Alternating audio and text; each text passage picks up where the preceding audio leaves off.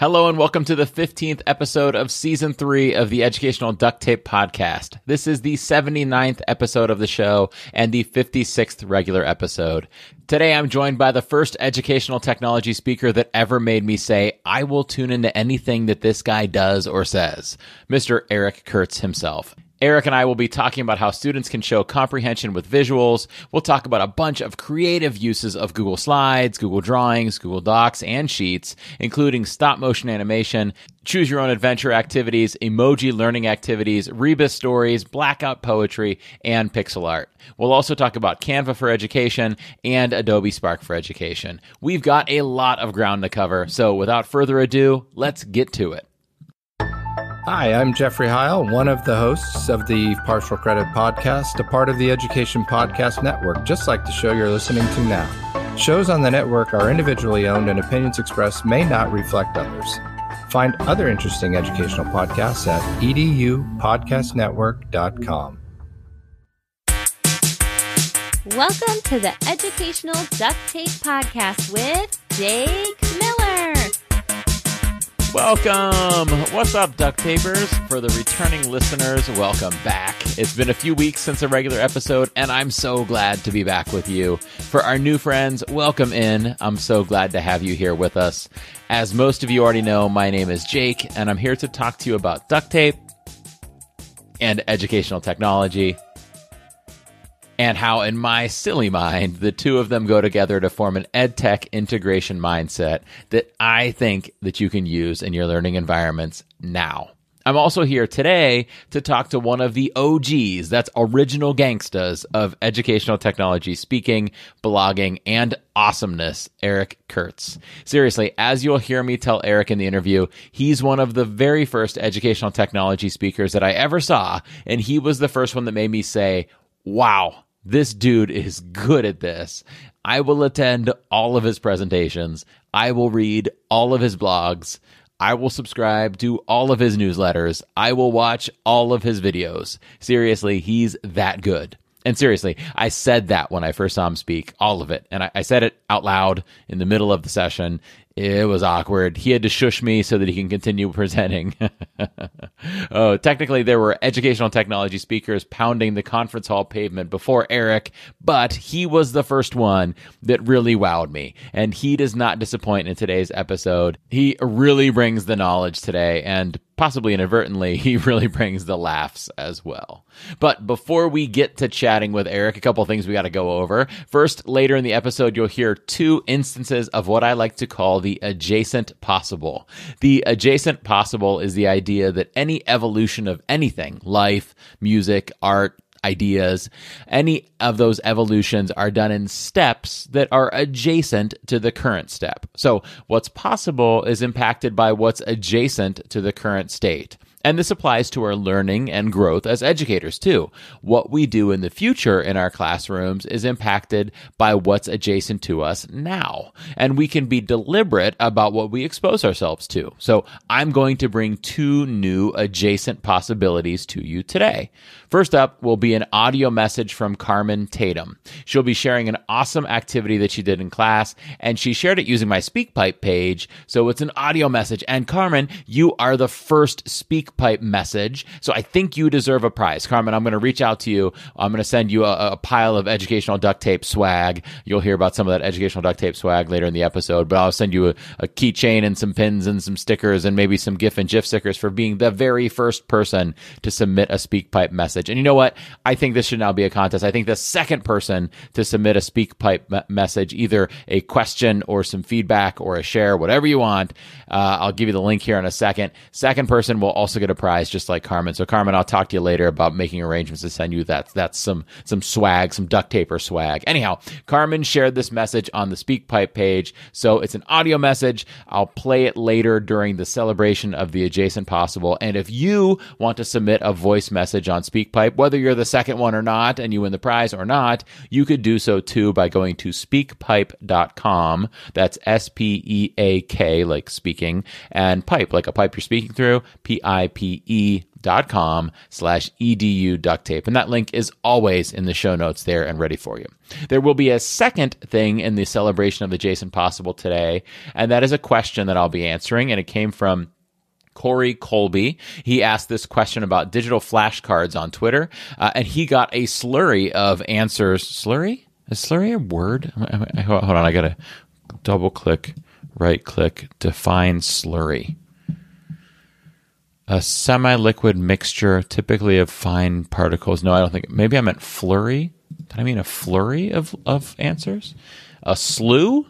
Maybe I combined slew and flurry there. a small swirling mass of something. yeah, I think he did get a flurry of answers, maybe. Anyhow, Corey got a flurry of awesome answers, or a slew of them. I'm not sure which, or a slurry. Who knows? Where am I getting my words from? Anyhow, I'm going to share my answers and other answers that people gave to Corey in that tweet uh, later in the episode about some digital flashcard options. And bam, that's the adjacent possible. Once you hear those things, they'll be added to your adjacent possible. Like, for example, I had never thought of doing what Carmen shares later. And in Corey's answer, I had a few answers, or Corey's question, I had a few answers in my mind, but other people shared things that I had either never heard of or had forgotten about. And they kind of added new things for me too. And they will for you as well. That's the adjacent possible. And if you've got a question that you'd like me or the duct tapers or all of us to answer, answer, uh, I would love to address it on the show. You could tweet it to me at Jake Miller Tech. You could email it to me at jakemillertech at gmail.com. You could submit it on the show's Flipgrid at flipgrid.com slash edu duct tape or submit a voice message on SpeakPipe like Carmen did at speakpipe.com slash edu duct tape. Those links are in the show notes. They're always in the show notes. Anyhow, however you do it, I'll pick one or two questions to ask at the tail end of most episodes. So ask them, and sooner or later, I promise to get them into an episode. Okay, next up, before we get to talking to Eric, actually, there's two things before I talk to Eric, but next up is a preview of where I'll be over the next few months. Within a few days of this episode airing, I'll be doing my second presentation as part of Spring CUE. It's a session called a Perry Fun Pear Deck intro with a focus on rapport building. Not gonna lie, or NGL, as the kids would say, I am super excited for this session because it's gonna be super fun. It's a brand new session. It's, it's, uh, something that I just decided recently to start doing, uh, and I'm really excited to do it. It'll be my first time doing it. I think is going to be an absolute blast. And I've actually got some codes for I think three months of free premium access to Pear Deck that Pear Deck gave to me to share in that one. So be on the lookout for that if you're a CUE attendee. Last week we launched the ninth cohort of my virtual course called Best Practices and Tools for Learning in All Settings. It's too late to join that one now, but we've decided to add one last iteration of it, even though this one was supposed to be the last one. Actually, we're supposed to have that have had the last one multiple times now, and we're adding one more on. Cohort 10 will happen this summer. It'll be a seven week experience that kicks off on June 20th and wraps up on August 10th. There's about two hours of work for each week of the course, but it's all asynchronous, so you could choose to do uh, choose when you do it, or to come out two hours, like like one chunk per week. So you can wait a few weeks and do like six hours all at one time, or you can do each two week chunk as you go through the course. I have been so proud of the feedback that I've received for this course, but I've been even prouder of the educators that have participated in it. Uh, they've just done amazing things this school year and have done amazing things in the course that I've just been super, super excited about. You can get details for that final 10th summer cohort uh, at jakemiller.net slash KSU course 2020. And that link is in the show notes as well. Spring, after that, aside from that, is a little slow for me in terms of presentations, but I will be making up for it and then some in June with a keynote at the summit at Murray State, a keynote at WitCon, and a keynote at the Panhandle STEM Conference. I am super excited for these, and that's actually not all for June. There are a few other June and July events that are still in the works, but the ink hasn't quite dried on those ones yet, so I'll be sharing those in the future.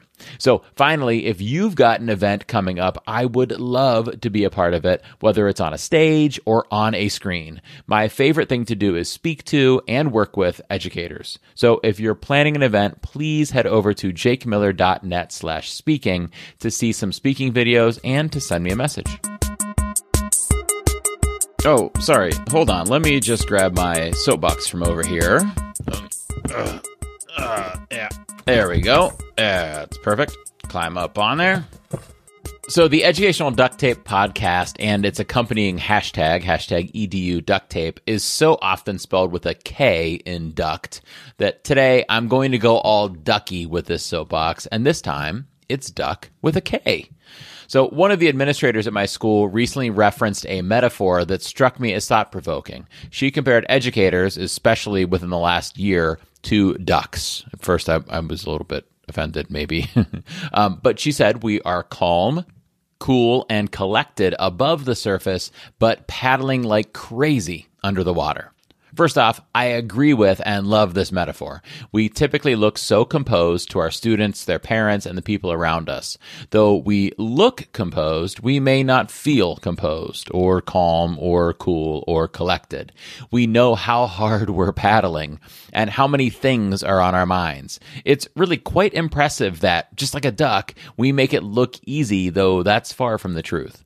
Our relatively smooth glides through our educational responsibilities may be why some misguided members of our community and our society think teachers have it easy. They can't see how hard we're paddling.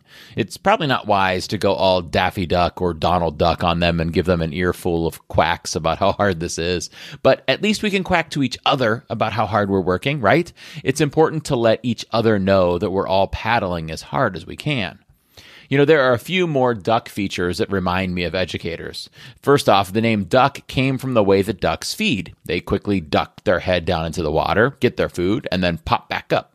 Teachers dive into their lesson planning, their skill learning, their ed tech integrating, and then pop back up to the surface looking calm, cool, and collected, ready to teach our learners. When they duck down for that food, they use a filtering mechanism that filters out the water while consuming the food.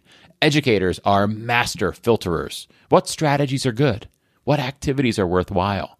What educational technologies fit into our practices? Based on formative assessment data, what have we mastered? What needs revisited? Filter, filter, filter. Ducks also have really strong wings. Have you ever watched one fly? You can hear those wings flapping. It's like it's crazy when they fly over my house. And they have really strong legs for that swimming. Those two things are our drive. That's our intrinsic motivation to get better and better every day for our learners. And finally, the most important two things contrary to the urban legend, a duck's quack does echo. The knowledge that you share in your classrooms and the things that you say in your staff lounges and in your PLNs reverberate. And finally, we've all seen ducks with a line of ducklings following behind them in a single file line. Ducks are leaders. Just like you, you lead, and what you do echoes. And I see you out there. I know how hard you're paddling right now. You know, she might not be a duck, but Dory had it right. Just keep swimming. You've got this. Quack. Today's guest.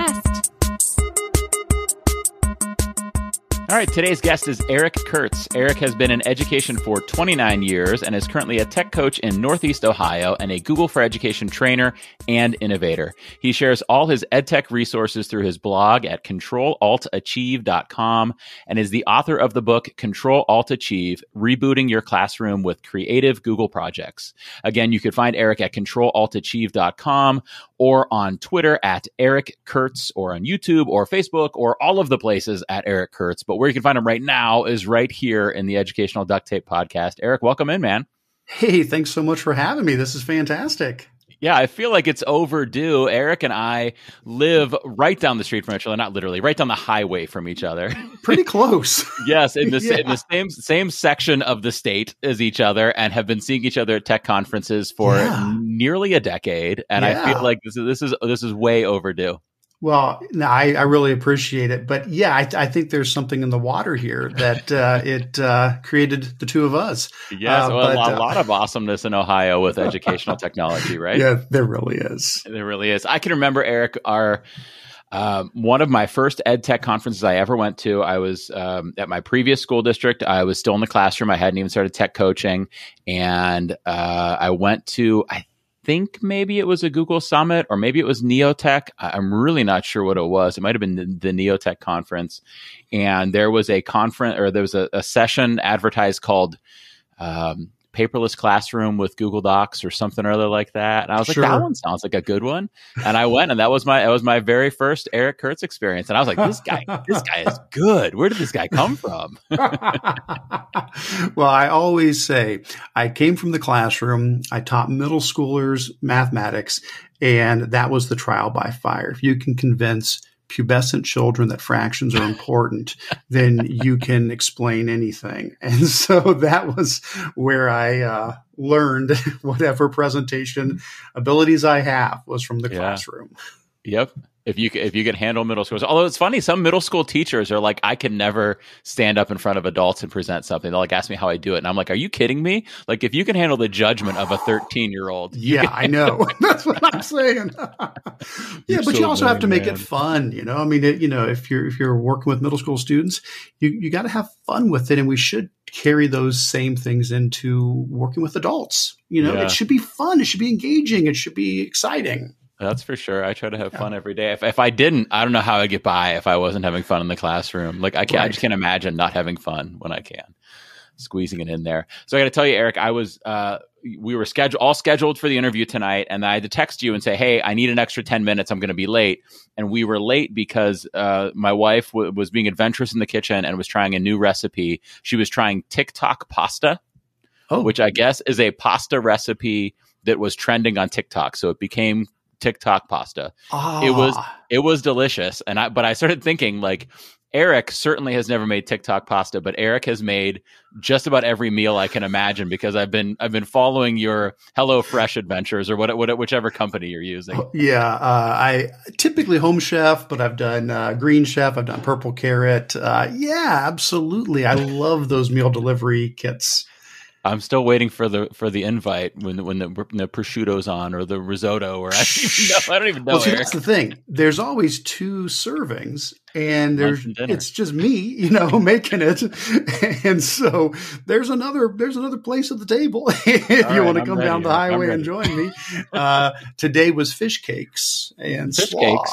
Yeah, the fish cakes with like a sriracha type of a um, sauce and some slaw with pickled shallots. It was that delicious sounds that sounds amazing it is. It's I sort know. of my um it's my zen time. It's my time to slow down and say for the next, you know, I mean they say it takes an, a half hour to cook these things. You know, I take longer. I just I take the time, I cut everything, you know, I lay it all out, I cook, I enjoy it. It just it's like this is this is my time. So I put on some music or I put on a show or something or a podcast and I, you know, cook and I then I sit and I enjoy it, and it's really nice.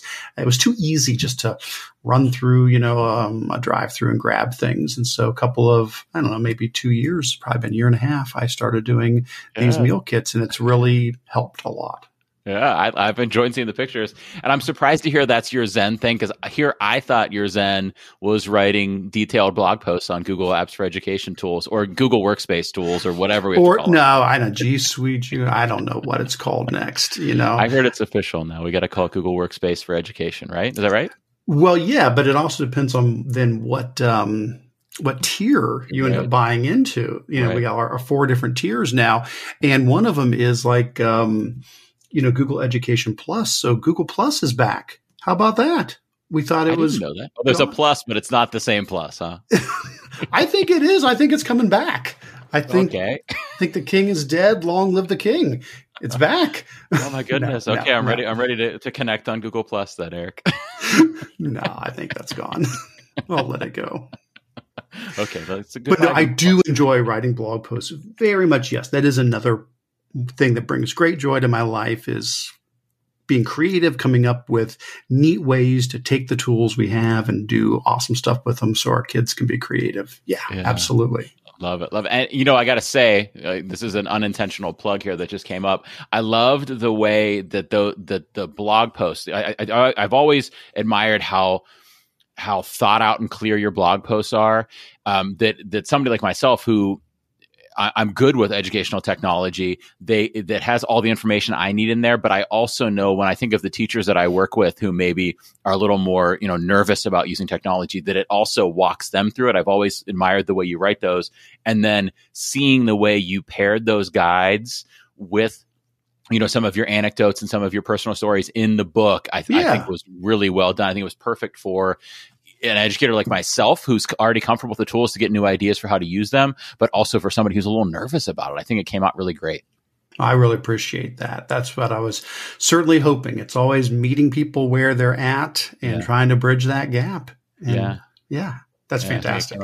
I, I, know it already says it on the back of the book that I think it's great, but I think it's great. well, I mean, that's that's the mark of approval right there. Yeah, yeah. We've got uh, yeah, right, right on the back. Uh, you can't change your mind. You can't go back now. It's in print. It, it is here. Yes, now it's in print and in audio. That you know you ha- yes. So uh, there's no way you're getting out of it now. yes, I do solemnly swear. I'm just glad the check like cleared for the endorsement. So um, right, right, and you, I think you added an extra zero onto it at the end of it, Eric. yeah, but there was a decimal before it. So it right. didn't really make a difference. Actually, there were. I noticed that there were three zeros after the decimal. What's up with that? Scientific accuracy, just you know, significant digits. Okay, significant. The chemistry teachers are like, oh, okay. Yeah, the bio- yeah. Oh, yeah. I don't know who exactly. The, yeah. the sig, sig digits there. math, math nerd. Two math nerds enjoying ourselves, huh? Yeah. So even though we're already enjoying ourselves, Eric, we have to play a game. It's educational duct tape rules. Okay, yeah, are you sure. up for a game? I am. And one lie. Let's start with a game of two truths and one lie. So you're going to give me three statements. Two yeah. will be true, yeah. one will be a lie, and I'm going to try to guess the lie. Here we go. All right.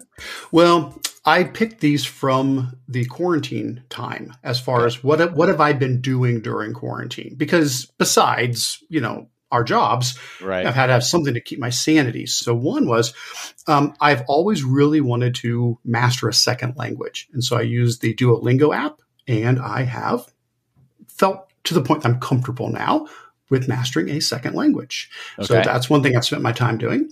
Uh, the second is I love tabletop board games. And so I designed my own. I created my own tabletop okay. board game during this time.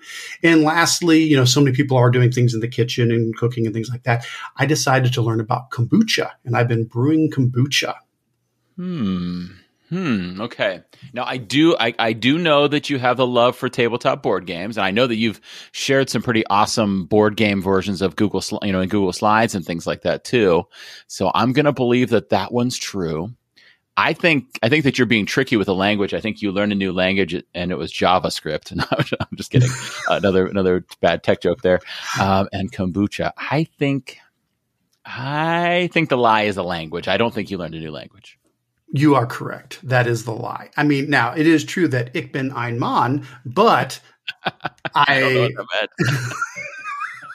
I uh, yeah, I, I, I, know like, you know, two phrases in German and then in French, I can say, you know, j'ai un crayon rouge. I have a red pencil. And I don't think that's going to help me too much. Um, so no, I did not learn and I did not apply myself to a new language, but I, I did create a, create a board game and I did uh, learn to brew kombucha. Are you? Uh, did you ever watch Parks and Recreation by any chance? yes, did you? Did you create the, the cones, cones, of Dunshire? It's all about the cones, man. uh, no, the game I made. Uh, it's called Supernova, and it's nice. about it's it's it's it's it's got some science in it. It's uh, it's a cool game where you're trying to add mass to stars to get them to supernova and give off higher level elements without putting on too much mass to make them go into black holes. And oh, it's cool! Kind of a neat competitive game where you're trying to harvest higher level elements from stars. Ah, that sounds cool. I feel like you need to be playing Blooket, Eric. Have you played Blooket yet? No. Oh. oh, no, no, no! You, I don't know how to pronounce it. Yes, Blue, yeah, blue, blue. That's how it's. Yeah. Okay. Yes. yes, I do know what it is. I just don't talk to other humans, so I never hear words spoken. I speak. I speak to houseplants. Uh, so, Yes, I, I, I, do play. I have played on that website now that I know how it is pronounced. My kids love playing Blooket. We play. They play it almost every night. They've now started developing their own Blooket yeah. decks, and they just play Blooket just for fun. But there are some strategy ones in there, and I feel like they should. That you should probably talk to the creators of Blooket and get get Supernova turned into there a Blooket. Eric Eric Curts X Blooket, like a mashup there. Love it. Okay, Eric. Well, let's jump into some educational duct tape right now. So, for those people who uh, who came here uh, for the talk about um, uh, prepared meals, not prepared meals, but fancy meals, yeah. and the pronunciation of Blooket, um, I'm going to describe to them how uh, how educational duct tape works because they might not be familiar with it. So, educational duct tape is my goofy metaphor that educational technology is at its best when it's not the goal or focus of a lesson, but a tool we're using to solve a problem, meet a goal, address a need, much like duct tape is just a tool. We never set forth to use duct tape. We are using it to solve problems. Okay. So that's kind of the ed tech integration mindset I like to take to things. So on the show, we like to start off with a question that a teacher might have and then see what kinds of educational technologies we can come up with that'll solve those problems. So the question I have for you, and this is a, a perfect question for you because I've always respected uh, the kinds of visuals that you use in your work, like on your on your tweets and in your YouTube your YouTube video, um, whatever they call the like the the main image that you see before you start the video, yeah. the cover cover image or whatever, um, and the images on your blog posts. I love. Clear, simple, appealing, you know, eye catching and good communication through them. And I also know it's kind of a piece in the book too. Um, the question is, how can I have my students show comprehension or thinking with visuals? So, what are some ways that we could bring visuals into our practice using educational technology? Oh, absolutely. Um, and it's, I, I, do love your analogy of educational duct tape uh, because the uh, the intro to the, my book is I pose the question uh, what all can you use a screwdriver for? Um, and it's that same thing. So I'm starting a podcast called Educational Screwdriver, but it's the same concept is, and I'm right there with you. It's about saying, okay, so you've got a screwdriver and you can use it to put screws into wood but what else can you do with it? You know, and you start thinking through all of the things we use. We, you know, pretend it's a microphone we're singing into. We can use it to, you know, chip off ice. We can use it to stir paint. We can do all this stuff. And I take that same sort of, you know, idea and apply it to technology and to mm-hmm. answer the question about how can students show their thinking, their comprehension, you know, with, with visuals. My go-to is always to say, what tools do we already have laying around? like a mm-hmm. screwdriver and how can we use them in new creative ways now there's i mean you got wonderful new tools like Blooket and things like that that's mm-hmm. phenomenal and i'm always looking for you know new tools as well but there's there's the go-to of saying okay we've got the google suite of tools you know mm-hmm. we've got drawings and slides and docs and sheets and yeah they're awesome you know slides is a wonderful presentation tool and, and sheets a spreadsheet tool and so forth but what else are they? What else can they be used for? And so when I think along the lines of that question, how can students show their thinking with visuals? You know, I start thinking about something like Google Slides and I think about creative projects they can do. And it would be things like, you know, stop motion animation, something that I believe, you know, is near and dear to your heart as well. Uh, things like, you know, creating choose your own adventure stories or creating online animated comic strips or, or making ebooks. All of those are giving students a chance to use visuals, to use pictures and bring them to life in the example of like a mm-hmm. stop motion animation.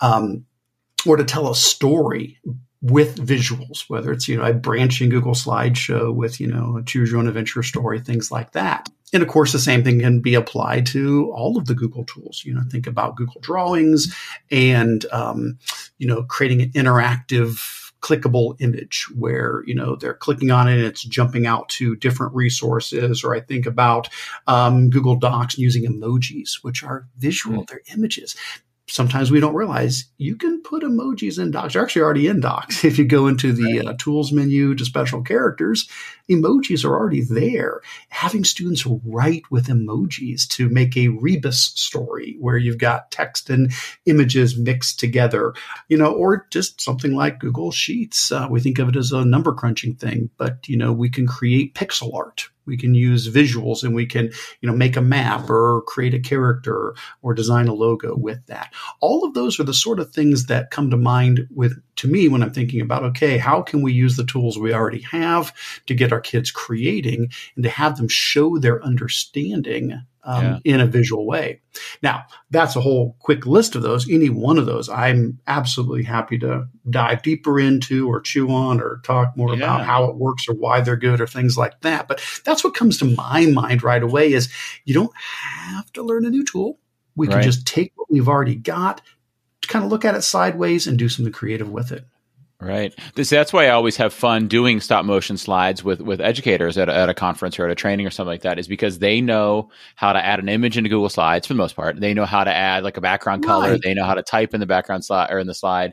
It's just me then taking them and, and showing them how to turn that into an animation. Right. And it's a familiar tool. Like, could you make something better in Scratch? Yeah. Yeah. Almost sure. certainly. Right. Could you make something better in um, Doink has a, has an iPad oh, uh, yeah. Animation yeah. thing. Can you make something better in there? Yeah, for sure but it, it, it is nice in some situations to to have that choice as a comfortable one. And I think that I think that's a power that we have um, in schools is that we might have one teacher who goes, "This is the tool that I'm familiar with, and I'm I'm comfortable using this in new ways." And then maybe the teacher in the room next door is like, "I'm going to try out this new tool," and then their sure. their students are being exposed to all of these things, right? And it, it creates this rich experience for the kids, you know. Absolutely, there is no right tool. Right. You know, it's right. it's what we're trying to accomplish, which is student learning, you know, collaboration, creativity, communication, those sort of things. It's just working backwards and finding the best tool to fit it. But like you said, sometimes how do you how do you help a teacher move, you know, into some new projects? Well, yeah. maybe it's building on something they already have a reasonable comfort level with and saying, right. okay, you don't have to learn a whole new tool. I loved you what you said there. Yeah, I already know how to do slides, the basics. Right. Well, did you know if you add this one twist to it, you know, you know, or like with Google Drawings, you know, maybe they know how to do that, but do you know if you add a hyperlink on top of it, it becomes mm-hmm. clickable or Google Docs? Did you know that mm-hmm. you can use the highlighter tool and highlight in black instead? And you can do like, you know, blackout poetry and, and things like that. You know, it's just taking a tool we already have a comfort level with and saying, ah, I can add that extra thing on top of that. And of course, it's also giving students choice. I, I don't want to sit here and say, mm. yes, everybody should have their students creating, you know, a choose your own adventure story in slides or something. Right. But wouldn't it be great for it to be an option? Wouldn't it be great right. for the students to be able to say, oh, I can pick from these five or 10 things and find one that's a way that I like to express myself? Yeah, and those things, those things. Then, when they find those ways, first of all, they learn more about their themselves and their interests that they have, and the things they might want to do more of in the future. But also, they they reach that flow, right? That state of flow that that you were talking about when writing a blog post or when cooking one of those meals. The type of flow that I get when preparing a podcast or something like that. That I get when I'm doing stop motion slides. To be honest, too, to have students be able to find that flow in something that relates to their learning, right? So instead of creating a worksheet that feels like it takes them, like the minutes feel like hours, right? They're doing these things where the minutes feel like seconds, right? Right. Absolutely. You know, and when they have that choice, it's going to increase motivation because that's something they're excited about. They're going to do more than you ask them to do because they're having fun and there's not as much friction. They're going to be able, you're going to get a better read on their understanding of the concept because you don't have a layer between the student and the expression of their understanding that's messing it up. That's right. fuzzying things up. Because if you told me, Hey, Eric, I need you to explain photosynthesis and the way you need to do it is by performing a musical piece, mm-hmm. you know, I would be like, it's not going to be good. because my, I'm going to have to overcome this massive hurdle that right. I can't play an instrument. Mm-hmm. You know, concept of saying, well, you know, if it's a tool that the student doesn't feel comfortable with or engaged in, um, are they going to be able to really show their learning as clearly as if it was something they had a, a choice and also an excitement yeah. about? Yeah, that, that's an interesting point too, because I think when a lot of teachers hear about choice boards, they're intimidated by the idea because they think, well, then I have to have some level of com- comfort with all of the tools that the kids are using, which, first of all, you don't. The kids have to develop that comfort. And I think your music example is a perfect example of that because I wouldn't be nervous having a student who's an experienced guitar player, let's say, uh, write and perform a song about something we're learning about in class. Even though I don't know how to play guitar, I don't have to worry about that part. I know the student has that. I can give them feedback on the content, right? So I don't have to know the tool, whether it's a guitar or Adobe Spark. I don't have to know it for that to work. And second of all, if they're doing these kinds of projects, like you named five different things that use Google Slides, yeah. the teacher could go like, I'm comfortable with Google Slides. And then the kids can do the stop motion slides or the choose your own adventure or the ebooks or the animations or the clickable images. And then the teacher is going to know that they have some level of comfort with what they're all doing right? But yet mm-hmm. the kids are all getting to kind of express themselves in a way that feels more natural to them and is going to bring out their um, their passion for for the content and and be, be, give us a better um, assessment of their their true understanding, right? Yeah, and, and, I get it. It is a little scary as a teacher to say, "Okay, I haven't mastered this," mm-hmm. but that's that's okay. That's that's okay. We don't have to. Well, I guess the first thing I should say is it's not that we don't have to. You can't. You, mm-hmm. We have to give that up. There are right. too many tools. You will, you can, and we need to do our due diligence. We, we need to try to learn and grow, but it's not possible. I mean, we can't possibly be a master of all those things. There's always new tools and new twists. It's okay to let the students run with those things. Mm. And think about this too. You know, if you say, okay, everybody's going to do the same project. Okay, that, that's that's fine, but you're now going to be grading, you know, 125 projects that are pretty much the same thing, just you know, a little variation on it if the students have choice in that, now we're getting all of these different learning objects that can be right. reused. Because now here's this kid who just gets crazy about you know stop motion animation and they make this amazing thing or they get crazy about clickable google images and, and they make this amazing interactive thing. Well guess what? Instead of you just grading that and you know turning it back and story's over you can say hey can i can I share this next year? Can I use this? Now, right. this is a teaching tool that you can use with your students the following year. And right. so it's not just looking at the assignment as something that has an end where okay i right. grade it i give it back to you it's over and done no some of the really awesome things the students are creating can now be used and reused in the future yeah, I think about all of the different levels of wins that happen in that situation, right? The the kid wins in the fact that they maybe learned a new skill. The kid wins in the fact that they had fun in school. You win because you enjoyed looking at student work for once. Yes. Uh, you win because you developed some some new content to use the next year, and the student wins in feeling honored that the teacher wants to use that that piece of work right. of theirs in the future, right? So there, there's yes. multiple levels of why this is awesome. Yes. Right? Yeah. Um, so tell us about. I think everybody kind of gets the idea of of what stop motion slides is. Will you will you give us a, a peek into what choose your own adventure slides are? Well, yeah. I mean, so you can do branching in a lot of different technologies. I use slides as an example. This also works in Google Docs. You, you can do it there as well. Uh, you can do it in Google Forms. You can do it with Google Sites. There's a lot of tools that will let you do this. Um, slides is definitely a good option for that. And really, what it comes down to is just the fact that one of the things you're allowed to insert into a slide is a hyperlink, which I'm sure everybody goes, you know, like we said, every, oh, we, I know that. Of course, I can right. put a link and say this goes to, you know, google.com or whatever. But the, the twist, the only thing you need to add, because it's always just, well, what's that one little twist? You just need to realize you're actually allowed to link to other slides. You don't mm-hmm. have to link to a website.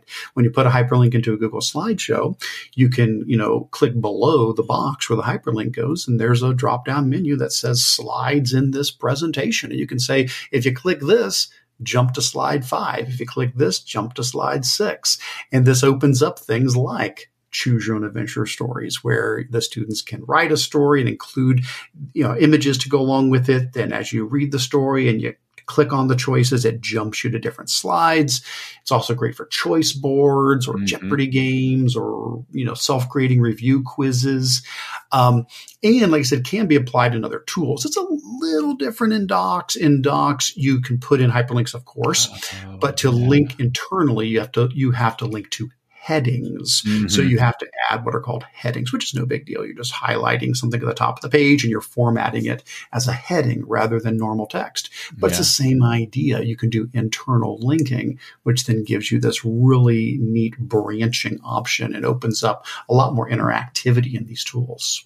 It'd be kind of neat too to use it almost for like a differentiation activity, like like in a like a math class because we're both we're both former math teachers. Um, you know, maybe putting an equation on a slide and then saying, "Do you think the answer is x equals three or x equals whatever?" A common mistake would be x equals four. let's say. Absolutely. And then if they click the wrong answer, maybe they get to something remedial and then come back and fix it. They get the right answer, maybe they move on to the next question. That'd be kind of interesting way to. The kids would have less fun with that, but Well, no, but see, that is that is exactly one of the examples that that I have on on the blog and in the book is exactly that is you know a self grading quiz where you've got a question and the answers when you click on it doesn't just say you're wrong, but when you click an answer, it goes to a slide that specifically addresses why that's not the right answer. Uh, now, keep in mind, I know we keep saying things like you know we can create these and our students can do these, but that can also be a student project. You know, it could be one option. Well, okay, you you can you can create a self-grading interactive quiz using Google Slides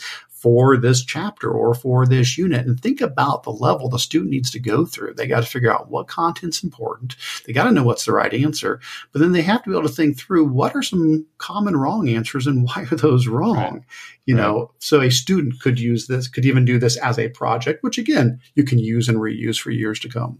Yeah, that's great. And then that becomes an, a neat little kind of self assessment tool that you can post for other kids to go through and just like test their own Right. understanding as they go through it. Wow. Right. Yeah, that's some great ideas there, Eric. Support for this episode comes from, well, it's actually from me, or kind of. I actually just want to take this opportunity to tell you about my favorite company to get custom stickers from. I've tried a handful of companies over the years, and I've actually been pleased with all of them, but one company gets A pluses across the board. Sticker quality, prices, deals, customer service, shipping speed, sense of humor of their advertising, everything. They're just great. And that company is Sticker Mule. And they do more than just stickers. Seriously, I have educational duct tape pins, keychains, packing envelopes, packing tape, and they've got other things available too even their own Sticker Mule brand hot sauce. So if you've got some sticker needs, head to jakemiller.net slash sticker mule. That's S-T-I-C-K-E-R-M-U-L-E to order some stickers. And if this is your first time ordering, you'll get $10 off just by using that link. And full disclosure, I'll get $10 credit, which I'll actually probably use for some hot sauce. Yeah, I think I need some. That's jakemiller.net slash sticker mule. So I normally, when people say they want to make visuals uh, in, in the classroom, I normally go to the Google tools like you do too, because I say like you could you could assign them in Google Classroom, you can collect them in Google Classroom. Uh, your kids already have access to it. Your kids already know how to use it, and so I've I've been not as eager to jump to tools like like Adobe Spark or Canva or things like that. Though I love them, and I think they make you like they, they make amazing graphics and things like that. I haven't been as eager because of that flexibility, but recently. Um, I've gotten pretty exciting um, excited about what Canva for Education offers um, with the new education program. Um, so for listeners that might not be familiar with it, you know, I, I started trying out Canva years ago and I said, well, this is really cool, but I feel like every time I find a template that I want to use and a font I want to use, um, the the button the the buttons that I want to put in are paid buttons, and the Yeah. the stock images that I want to put in are stock images, and the the size I want to put in is like cost me money, and like this is all like this would be great if I had a membership, but I'm gonna walk away and go use slides. But now the education version is free, free for educators, free for students, and so that kind of like got me interested. I was like, hmm, oh, that's interesting. And what really sold me, have you seen kind of the how you have like a classroom account in Canva? Have you seen this? I have not. Yeah. So you, I like in Canva, it's almost kind of like Google Classroom where I could assign my students an, a, a project in Canva, you know, if they have accounts, which obviously for most educators is going to go through some district approval kind of stuff. But if they have accounts, you can assign it in Canva, assign even a template in Canva, and then collect it in Canva. And it kind of operates almost like its own little Google Classroom, which if you're, if you're in a situation where you might use it regularly, mm-hmm. I think could bring in a lot of power into your classroom. Well, that's fantastic. Uh, I have not. I think I'm in the same spot you described in the past. I've Yeah. you know used Canva. I've created some graphics with it, but it's been you know it's been a while ago because yeah, I ran up against the paid features as well.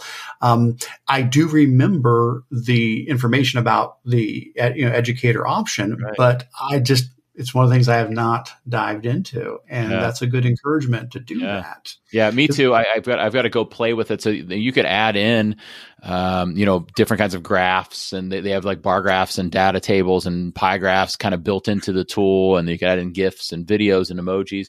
Uh, it's something I still have to play with, but the thing that excites me is that ability to assign and collect and view work and comment on work right in there. I think maybe for a one-off project, I probably Yeah. wouldn't be eager to use it because we don't want to go like start a, start up a new tool just for one project but it might be a beginning of the year. Let's try this out and see if it works and, and run with it throughout the year uh, in there. Yeah. Kind of cool option. Well, I'm going to have to revisit Canva because, like you, I do every graphic in drawings and slides. Anything, if you see something on my blog, if you, I mean, that's all my templates, like um, uh, the backgammon template template Yeah. that I did recently, and I've got one that I I just need to post it. Um, it's the Royal Game of Ur. Uh, Donnie Piercey was telling me about this Okay. he said, "Oh, you really need to look into this Royal Game of Ur. It's this several thousand year old game, and it's an awesome game. There's some amazing videos um, about how we discovered it and learned about it, and I created a template for that as well. But everything in it is completely created with nothing but the tools inside of drawings and slides, and so uh, you know you can be so."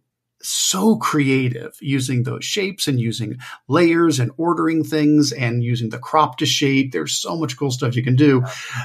But maybe I do need to step outside of just those tools.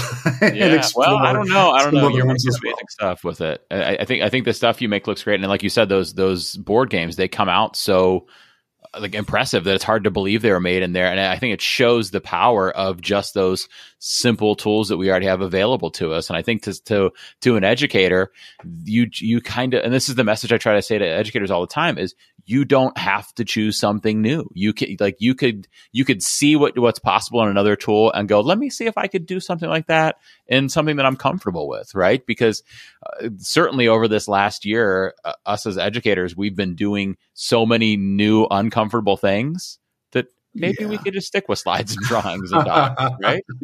yeah, and also it is, you know, it's a matter also of budgets. You know, I Yeah. think absolutely companies should be supported if they create a tool and Yeah. they've got, you know, a paid version and a free version. More power to them. That's that's fantastic, you know. But I, I support 35 school districts in my in my day job, and they've all have you know different financial abilities and, and budgets and needs, and and so as much as I love to promote, you know, new tools Mhm. it's always in the back of my mind is there a free version of it is there Right. at least something that if if my schools can't afford it there is still value here and for those that can go deeper great so Yeah. yeah. that's one of the reasons i fall back on the google suite a lot Right. Well, and when you when when your goal, if your goal is enriching learning experiences and getting into your student, peeking into your student's head, so to speak, with these visuals, like finding a new way to tap into their understanding and get and get a picture of it, and you could do that in Google Slides or Google Drawings. That's certainly a, a fantastic option for them to use, right? right absolutely Yeah, and it's it's. I always say it's nice too with those kinds of tools because your school has already um, agreed to the the privacy policy and the terms of service and stuff like that. You know, when when you know a, a comparable when when another tool is comparable but requires a new agreement, you know, sure then in, in some of those situations, sometimes it makes sense to stick with the one we're already using. But it's Yeah. nice to have options too. it sure is I, I feel like I'm being very indecisive now, Eric. But I don't I don't know why I'm worried about it because we never come to a decision. That's the point. We we just say these are some choices that are out there. that's right Do what do what suits you and in your classroom. That's right Yep. Well, I, so I'm excited to to compose these these show notes, Eric, because normally when I uh, prepare the show notes for an episode, I have to like track things down to put links to things in it. But I I know that on the Control Alt Achieve website, there is stop motion slides and choose Oh, your yeah. own adventure and Oh, yeah. And Oh, clickable yeah. image. They're all there. Oh, yeah. So I know I'm going to find all those links easy. And then I'm just going to link to the Amazon link to your book because I know so many of them are also featured in there too. Uh, and I, th- I think anybody who goes out and grabs it's going to really enjoy it because, like I Oh. said, it, it's it's fantastic. Absolutely. I appreciate that. And, you know, it's one of those things where, um, you know, it's meeting people where they're at. Some folks like to read a blog post. Some prefer to listen to a podcast. Some want to watch a YouTube video. Some people want to hold a book in their hand.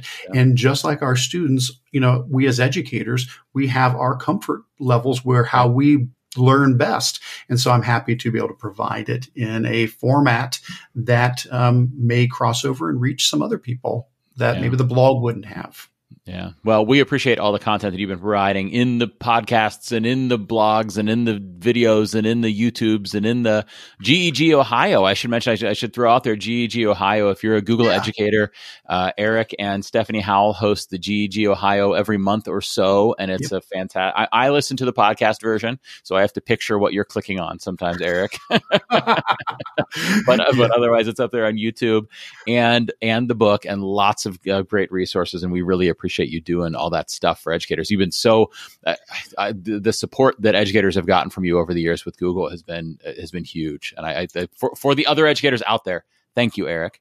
Oh my goodness. Well, I'm just, I'm just, I'm, I'm glad to hear that. In the end, you know, what makes me so happy is, you know, when I'll see somebody tweet something showing um, a project the students did. Yeah. You know, they'll be like, "Oh, here's what our students did today using, you know, pixel art or build a snowman or something." And I know some kids, you know, either went home or they were at home doing this project and they got to do something different. They got Yeah. to do something fun. They got to do something engaging and that you know it you know that's the ultimate goal is to make it through to the students at the end so if people do stuff please please do uh, share those things with me i love to see that if you tag me in them or email and and and let me know what your students have done that's a big encouragement Yeah. Well, there, listeners, you've got your homework assignments now. So you got to send Eric pictures of stop motion slides or choose your own adventures or rebus stories or blackout poetry uh, or pixel art that your kids have made or maybe a picture of them playing, what was it, the ancient city of Ur or what was it? royal the royal game of ur I, The I'll, I'll get it posted i'll, I'll get it posted i guess that's my goal is try to get it posted before the podcast comes That's out. your goal, Eric. That's Uh, Everybody my goal of sending pictures and things like that. well, Eric, thank you so much for being on tonight. I really appreciate it, man. thanks for having me and thank you for all you do it is so so appreciated Thank you, Eric. I can't believe it took me so long to get Eric on the show, but I am so glad that I finally did. I hope that you enjoyed that discussion, and I hope that you'll go follow Eric. Who am I kidding? You probably already do, uh, and consider checking out his book. To review a bit of what we talked about today, Eric shared a great analogy about screwdrivers and low key a good jab with his educational screwdriver podcast. but anyhow, I love how he was saying that screwdrivers can be used for lots of things and we have them handy and convenient and know how to use them and can u- repurpose them in multiple different ways. Though I would prefer the vodka and orange juice screwdrivers myself, Eric, but ah, well, I digress. Let's see, what else did Eric and I talk about? I loved his focus on using familiar tools to solve new problems, as he alluded to with the screwdriver metaphor. Uh, he talked about Google Slides for stop motion animation and choose your own adventure activities. We also talked about doing that branching in docs or forms as well to create those uh, choose your own adventure activities, uh, and about how you can use it for differentiation or self grading activities. Uh, he shared about some ideas for Google Docs, including blackout poetry and rebus stories with emoji. And finally, he shared about using Google Sheets for pixel art. I also threw in Canva for education and Adobe Spark for education, which I'll put links to both of those in there. And actually, I'll put links to all of Eric's blog posts relating all of those topics in the show notes as well. Uh, but Canva for education and Adobe Spark for education, two great tools for visuals. And Eric and I talked about how you know it's it's it's there's not one right tool. There might be one tool that's just right for you. That doesn't mean you should use any specific thing that we listed, you use the one that fits best for you and your content and your students, whatever screwdriver is best for you. It might be Phillips head, might be flathead, might be orange juice and vodka. we also talked about Eric's Royal Game of Ur template, which he did finish a day or two after the interview, because of course he did, because he's Eric Curts uh, and sent me the link to it. And that is in the show notes as well. Also, we met, talked about Eric's phenomenal book. It's titled Control Alt Achieve Rebooting Your Classroom with Creative Google projects. And finally, we talked about uh, one of my favorite places to learn about changes in Google Edu- Google for Education's offerings, which is GEG Ohio, uh, which Eric co-hosts along with Stephanie Howell. They do a great work in there, and I'll put a link to that in the show notes as well. So lots of good stuff. As always, all of those details, all of those links are in the show notes. Uh, but last, certainly not least, it is time for my favorite part of the show, which is the celebration of the adjacent possible. As I mentioned earlier, adjacent possible is the idea that whatever you do, whatever you try, whoever you talk to, whoever you listen to, wherever you go, opens you up to new adjacent possibilities. And the connections and discussions between me and you and you and you, between duct tapers, between educators, those open up our adjacent possibilities. So, first up, as I mentioned in the beginning of the show, I've got a SpeakPipe message from Carmen Tatum to share. I love this idea and Carmen's excitement about it. It's really cool how she says, like, I didn't expect this to have the big effect it did, but my kids loved it. It's, it's fun how we try things out and we discover new and exciting things in our classrooms that way. Just a note before I play it, since I'm on the free version of uh, SpeakPipe, I'm limited to a certain number of seconds per recording. Uh, and so you'll hear Carmen get cut off towards the end. I think she only had a couple couple more seconds to go anyhow, uh, but you'll get the gist of it and I'll, I'll kind of summarize at the end. But anyhow, take it away, Carmen. Hi, Jake. This is Carmen Tatum, and I'm a fifth grade teacher in California. I continue to enjoy listening to your podcast, and I really enjoyed your last episode with Dr. Natasha Rachell and how she discussed increasing engagement and learning for our students. I wanted to share something that I've done with my fifth grade students that have actually gotten them excited about taking tests. Um, our school does use Google for Education and Google Classroom. And early on, I created a Genius Hour classroom for the students so that if they had extra time and wanted to work on something else, they had other activities to do, such as shapegrams, comic strip templates, and so on. However, I was really surprised on what the most popular activity is, and I wanted to tell you more about that. This activity was to create a header or a banner for Google Forms. I created a template in Google Drawings for the exact size and shape that could be uploaded to Google Forms, and I gave them a brief tutorial on how to make their own design with backgrounds, importing images, and working with the different layers. I then would use their design for my header for my Google quiz. It was crazy how they were practically begging me to create more tests so that they could see their design being used. It really made my heart sing. So, um, since I used this in Google Classroom, I could just go to my Google Classroom folder and find any recent creations and simply download the image and upload. Promise I didn't cut Carmen off there. That was SpeakPipe that cut her off. But as she was saying, you could tell she was a couple seconds from the end. But it was cool how the students were submitting those um, images in Google Classroom, which gave her easy access to them. And as she was saying, she downloaded them and then she uploaded them into her form uh, as that header image. And I love that it got her kiddos creating, but also makes them feel some pride and some ownership over what's happening in the classroom. And as Eric and I kind of alluded to today, uh, it opened them up to some choice uh, and gave them something they were excited about doing. So that's a really cool idea, Carmen. I love the idea of kind of having that genius hour Google Classroom, giving the students some options for things they could do, giving them some things that are creative and maybe up their tech skills. And that came out really cool. So I'm glad she shared that. Finally, today's question came to me from Corey Colby on Twitter. Let's check out his question and then I'll share a bunch of answers. Uh, take it away, Immersive Reader Chrome extension. There was a gadget in Google Docs that allowed creating flashcards. I cannot find it now. Anyone have any suggestions for the best way I can do that? I need to create flashcards that include images, but don't want to pay for Quizlet. So, a bunch of options here, Corey. Uh, Quizlet is great, but as you pointed out, images are part of the paid version of Quizlet. And I do feel like it makes sense to pay for or preferably ask your school to pay for, tools that benefit your classroom. But I get the need to limit the number of paid tools we're using. It, it drives me a little bit crazy when people say, oh, it's only $4 a month or whatever, you should pay for it. But if you say that about Gimkit and Quizlet and Kahoot and all these other tools, all of a sudden you're paying $40 a month or something like that. And there's got to be some limitations. And, you know, it, it shouldn't be coming out of your pocket. And oftentimes the school's just not going to pay for that much stuff for you. So I understand the issue. And sometimes we have to find free ways to do these things we need to do. So my first thought was Google Slides flashcards.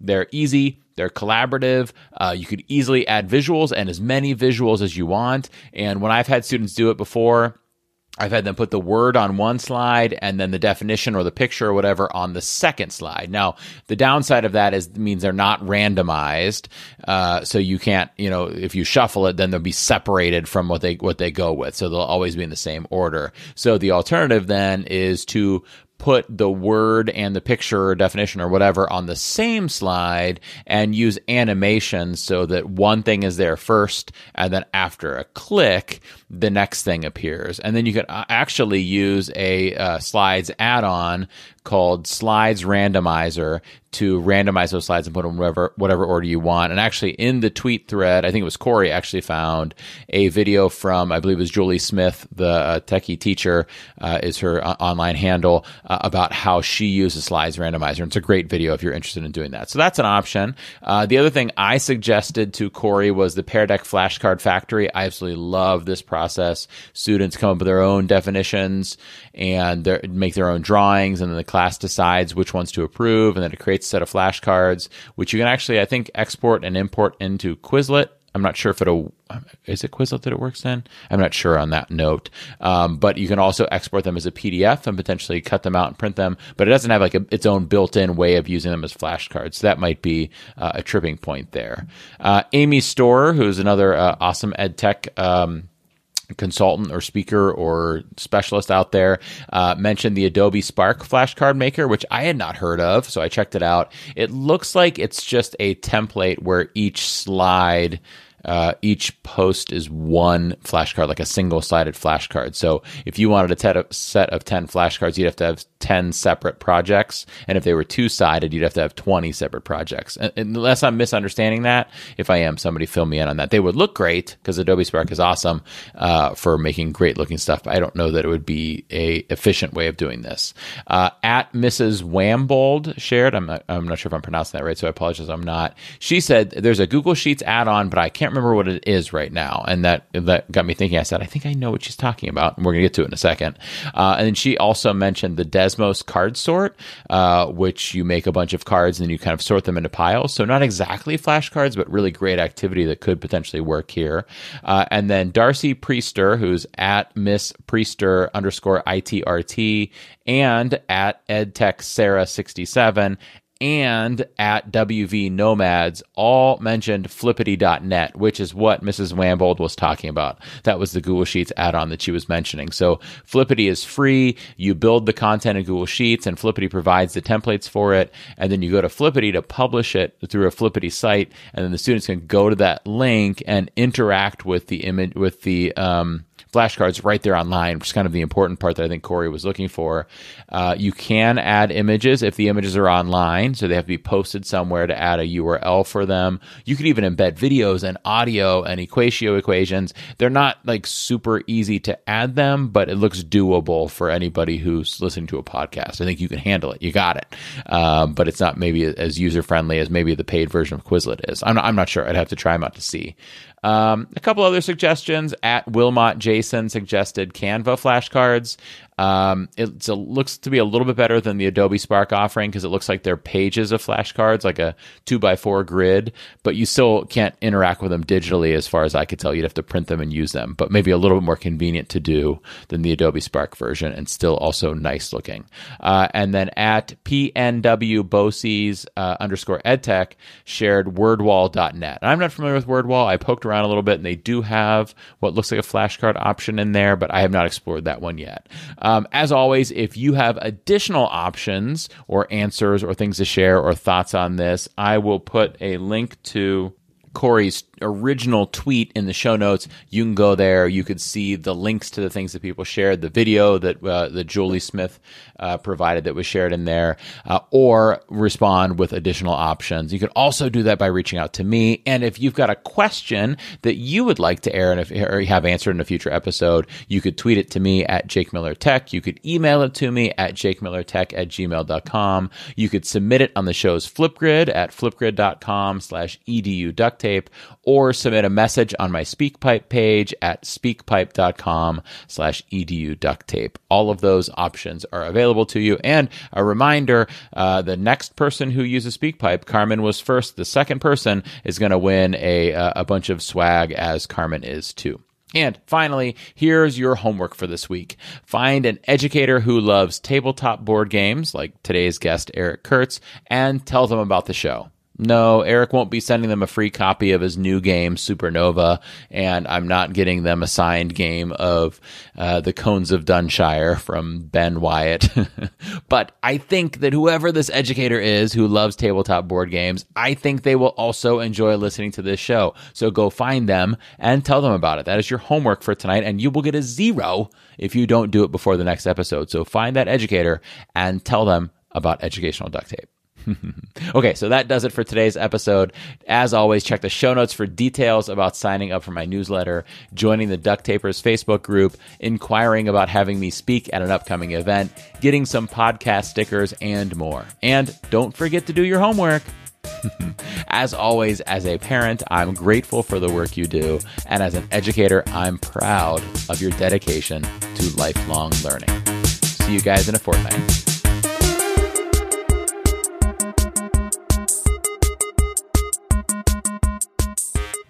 Thank you for listening to the Educational Duct Tape Podcast. Please visit eduducttape.com to join the discussion, share possible topics, inquire about being a guest, or contact Jake. And remember, duct is spelled with a T, not a quack quack K.